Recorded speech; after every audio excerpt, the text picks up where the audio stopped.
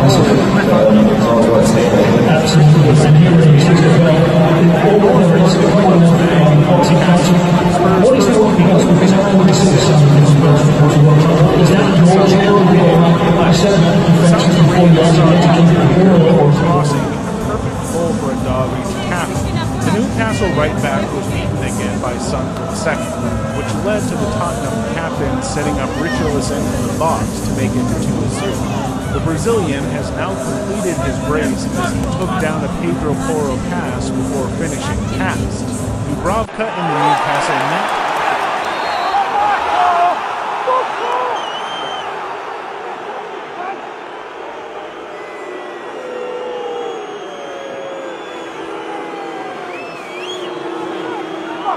Thank you.